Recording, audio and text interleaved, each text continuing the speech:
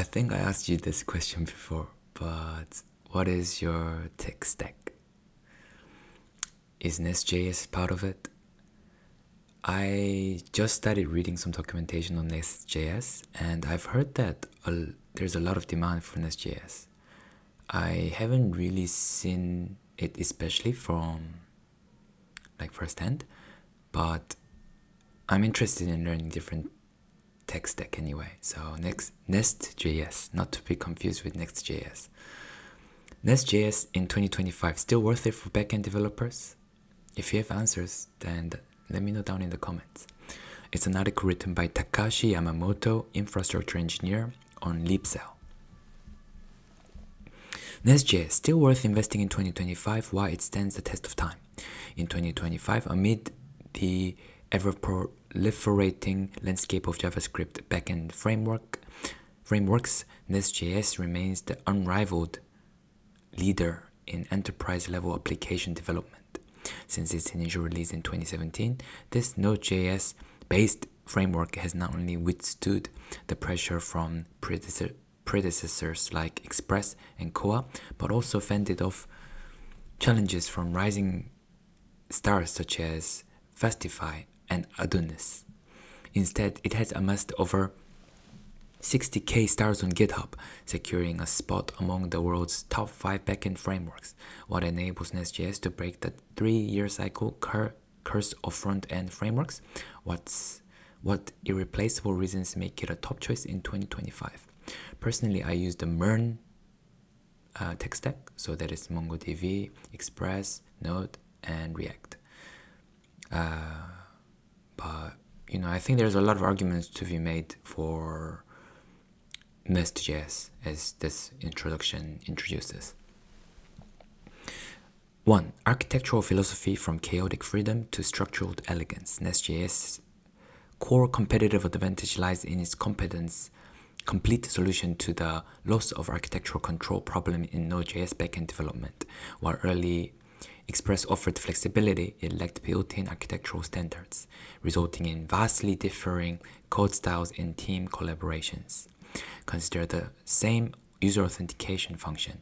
An Express project might exhibit 10 different implementation approaches. So, common chaotic approach in Express. We have a post request that's login, username, request body, writing business logic and database operations directly in the route. so there's a SQL query, and then you make that, you send that off to the uh, route. A DB query. I see, I see. Whereas in contrast, Nest.js enforces a modular dependency injection architecture, allowing even beginners to write standardized code. So we have a module, controller, controller, user controller, post. This is where we define the post, injectable, export, export class, user service, constructor, and async validate user user not found. Do we not need the query? Or maybe it's already implicitly in there. The di direct benefits of the architecture are over 40% improvement in code maintainability based on Nest.js's official 2024 developer survey and an average 50% reduction in onboarding time for new team members. I do definitely find this to be much less dense, much less easier to read than this right here. Because this jump anything that's query and writes like this it always jumps back and forth from one language to another and that's kind of tough. Number two deep typescript integration the ultimate solution for type safety Backend development in 2025 is far beyond the era of dynamic type freedom. TypeScript has become the standard for enterprise enterprise level development. Nest.js was the first mainstream framework designed entirely based on TypeScript from the ground up rather than being adopted later. This deep integration manifests in three aspects automatic type in interface, inference. Controller parameters and service method return values automatically get type hints. Decorator metadata. Implementing declar declarative programming using TypeScript decorators. Okay, data validation takes effect automatically. Export class creates user user data uh, string okay dependency injection type binding automatic type checking for service dependencies compared to the express typescript combination next nest.js eliminates a large amount of type declaration boilerplate code increasing average type coverage by 35% and reducing type related bugs in production by over 60% Number three, ecosystem. One-stop enterprise-grade solution. Nest.js ecosystem can be called Swiss Army knife of Node.js's backends in featuring high-quality modules maintained by the official team or community for everything from database interactions to authentication, API documentation, and microservices. Seamless database ORM integration. Type ORM officially recommended, supporting MySQL, PostgreSQL, SQLite, etc.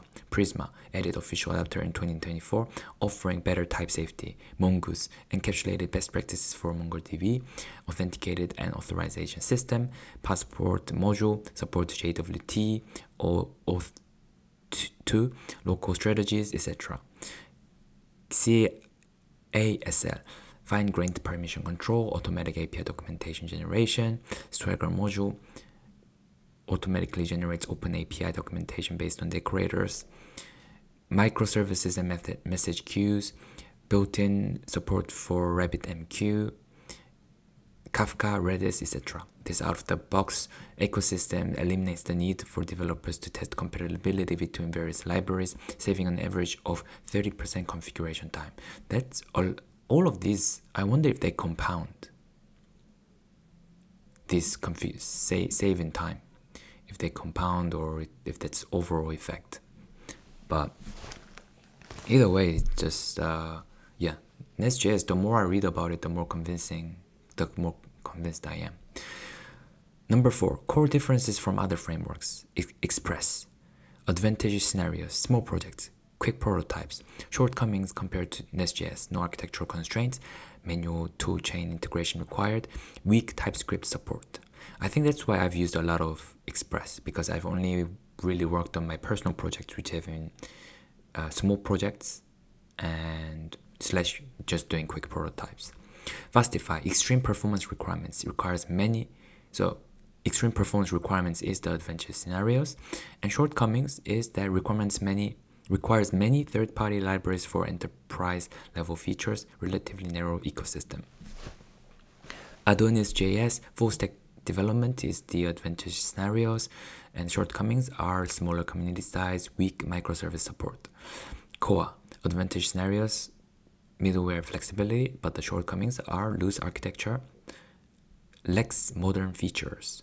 In terms of performance, Nest.js's performance ex excellent performed excellently in 2024 benchmark tests. Single instance QPS reaches 8500 expressed at approximately 9200, a difference of only 8%. Memory usage is 15% higher than Express, but much lower than Spring Boot, about uh, one, one out of five. What is it? Fifth, one fifth. Supports automatic clustering with linear performance growth after horizontal scaling. For 90%, 95% of enterprise applications, this slight performance difference is completely offset by improved development efficiency. Number 5. Enterprise grade application cases. Who uses Nest.js extensively?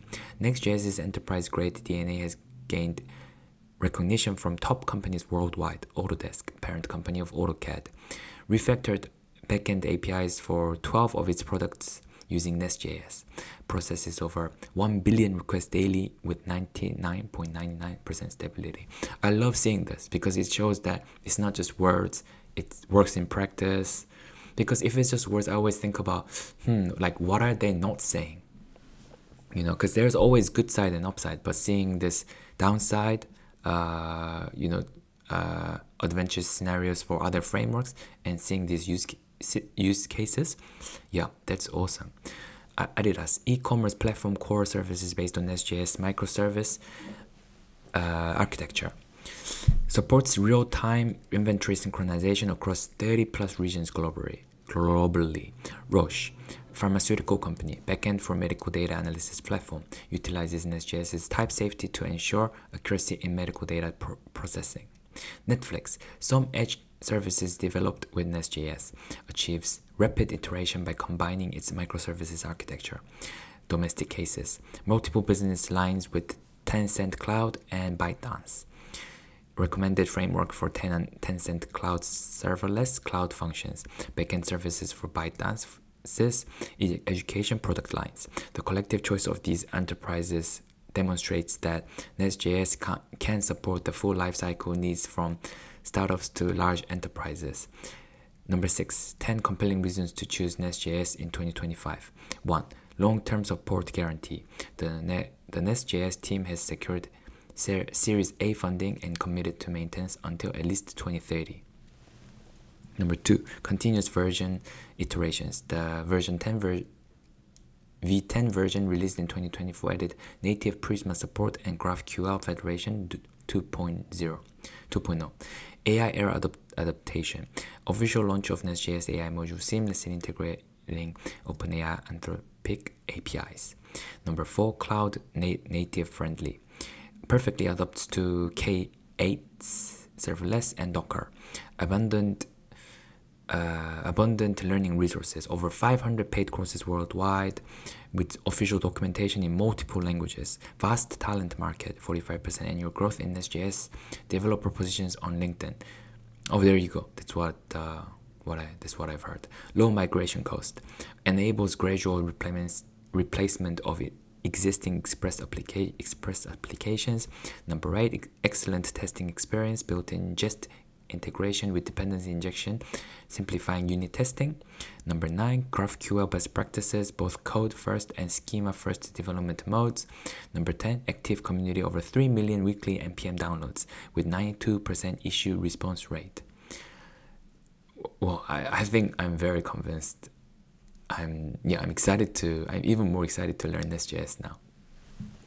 Number seven, future outlook. Next.js's next five years. The Next.js team announced that their future roadmap at the 2024 Developer Conference. 2025 introduced server component support for front and backend component sharing.